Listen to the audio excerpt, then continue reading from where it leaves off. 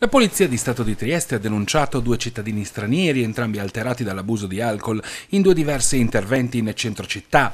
Nel primo caso un cittadino olandese, MAD, queste le sue iniziali del 1973, in evidenza stato di ebbrezza alcolica, dopo aver avuto un alterco con un passante, ha opposto resistenza alla volante che era intervenuta per sedare la lite.